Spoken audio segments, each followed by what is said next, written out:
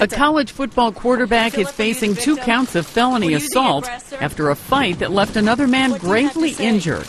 20 year old Philip Nelson posted bail and left jail in Mankato, Minnesota on Monday. He's accused of kicking a former college football player, 24 year old Isaac Dallas Kolstad, in the head early Sunday morning. I was informed that a judge has signed a complaint uh, charging Mr. Nelson with one count of first degree assault and one count of third degree assault. Kolstad was listed in critical condition with a severe head injury. It is yet to be established what caused this young man's injuries. Uh, we will be conducting an investigation. Police in Mankato released video showing the scene of the altercation and said Nelson, wearing white shorts, could be seen kicking Kolstad's head. Police are also trying to find another man seen fleeing the scene.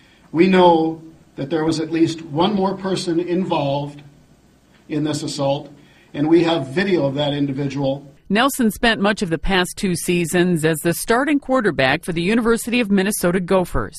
He announced after last season that he's transferring to Rutgers. Sandy Kozel, The Associated Press.